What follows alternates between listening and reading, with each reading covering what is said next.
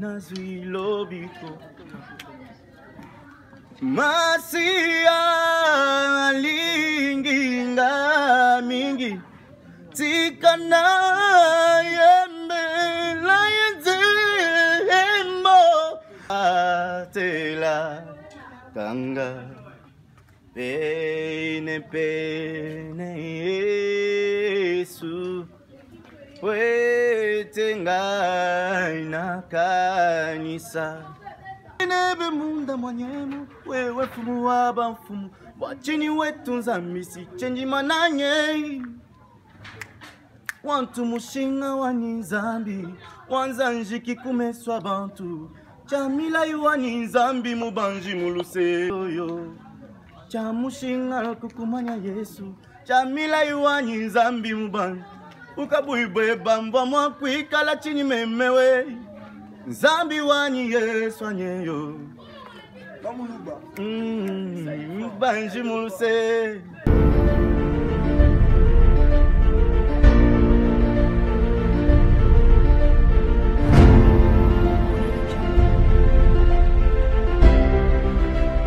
Shalom, shalom, peuple de Dieu. Je suis le frère Franck, euh, je suis là euh, juste pour adorer le Seigneur. Et surtout dans ces moments de confinement, il y a d'autres qui se posent des questions. Euh, qu'est-ce que nous allons devenir C'est comment maintenant le culte et tout ça Et présentement, je sais que dans nos cœurs, nous avons Jésus qui habite dans nos cœurs. Partout où nous serons, nous pouvons adorer le Seigneur. Même là, je suis en cours de route je peux adorer le Seigneur juste pour ma vie et être toujours proche de Dieu et c'est ce qui sera ma sécurité en tout instant. Merci. Hmm. Eh. là, je chante dans ma langue maternelle, hein. donc c'est un chilouba. Peut-être que les autres peuvent ne peuvent pas entendre, mais hein, c'est juste euh, une chanson qui est à ma langue maternelle. Euh, une chanson de mon frère que j'aime bien, le frère Mike Alambay. Euh, c'est Senda.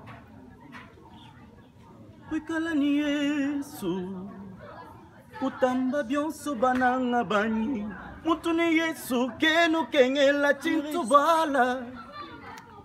wikalani yesu si ca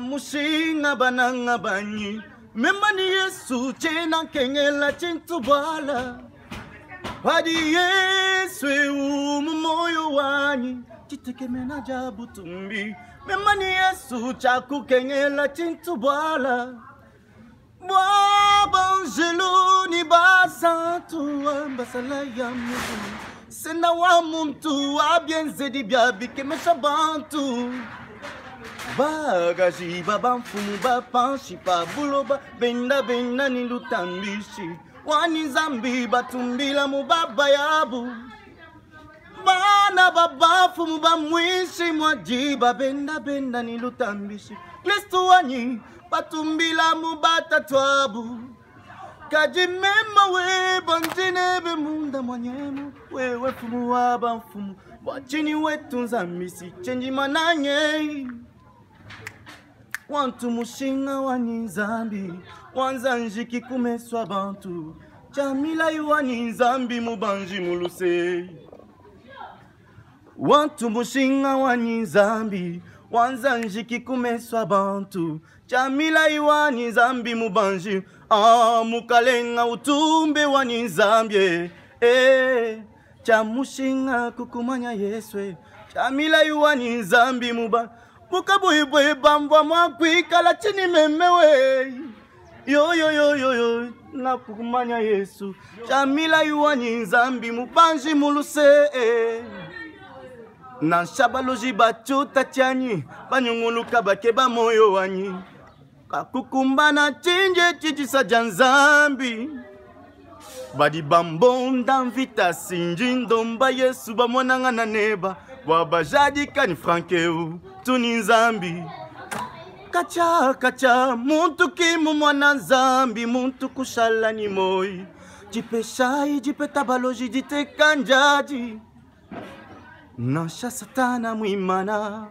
wakukojakaja malu anyi kakukumbana cinje ciciso ja nzambi hikala iye musoba mema weba kotiaka na mumalu anyi abuela munda mweba shintulula jisa jeba wanyi nzambi ngenza chinye yo chamushingala kukumanya yesu chamilayi wanyi nzambi mubanu ukabwibweba mbwa mwakwikala chinyi memewe nzambi wanyi yesu anyeyo mm, banji muluse yesu wanyi wanyimulunda shadailwa kutwenda neba hey. Eh, kibwaluka indi njadikasi ni byonso biyakwenza satani udi ubyenza byonso ebyanu en retard nasha mwela lufu mwela korona myunso mu mwoyo wanyi udi ubyenza byonso ebyanu en retard na samuela lufu muela masama bifufu nzalani makenga mudi kujani byonso ebyanu eyi tuimasende wabishima wanye nzambi wakumikuna ya cijile alenga ntilobu wanye twambasende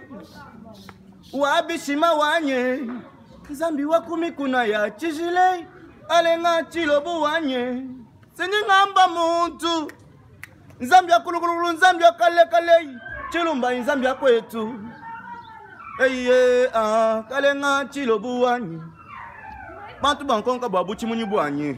bantu banyela nkonko bua bucimunyi buanyi banga bambanda banga bambanda miyami bakomwamonye etisimbuloji munje mucimanyi manga cimanyi masenda mema muine bucimunyi buanyi muno mwacanza cyanyi mucanza cyanyi mbananga sinji mukwata mwela mwela muine usinji nadya muntu songa wathi tenda bakumiyasisa tu wakalekela boyenda bunsonga bami bukunsonga bami bunsonga bananga eyi bapa buloba twambilayi tumanya tinuka jibafuke batu ambayi tumanya tinuka jibe batu wetununu anomaye eyi bijani mpyoji e kadi nanzakalezi adi ah, ah, nsampusampu mnacha tresera migebuga eyi chinukajibenza ching'anyi bantusi eyi sena masiya alingingai mingi tikana yembela yenzemboyo akufelaki ngai na ekulu naende nazwi lobiko masiya alingi nga mingi tika na yembela ye nzembo akufelaki ngai naende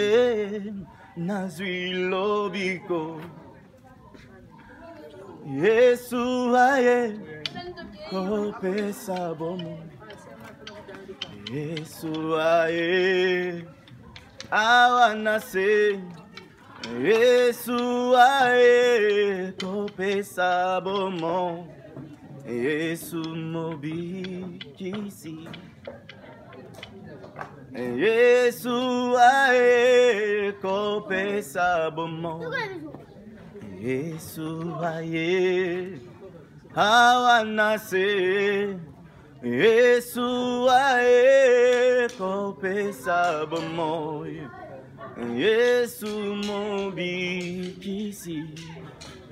bah, là je veux dire à une personne qui est déjà qui souffre ou une personne qui se sent déjà menacée par euh, ces menaces de maladie que Jésus est là Jésus est tout quand Jésus est dans ta vie, quand Jésus est dans ton cœur, tu peux déjà chanter, tu peux déjà euh, chanter une, chanson de joie et parce que Dieu est dans nos vies, il est notre remède dans toutes circonstances. C'est ce que je dis. Yesu aye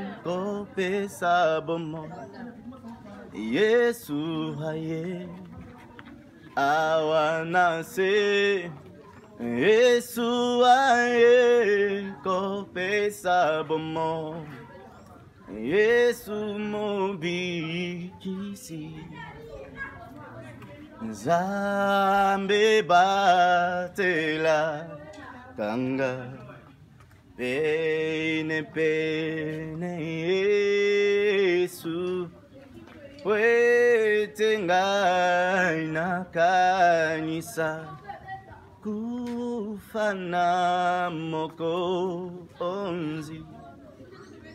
nzambe batelakanga pene pene yesu wetinga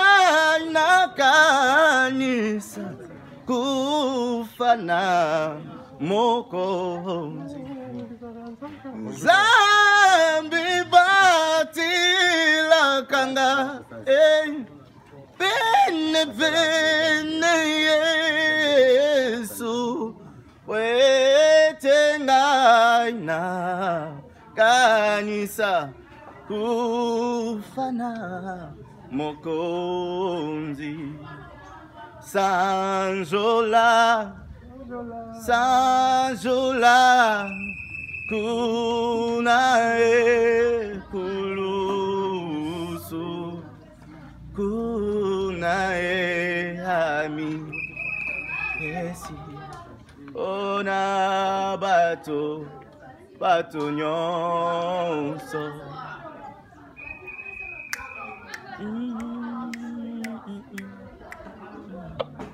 Merci, merci.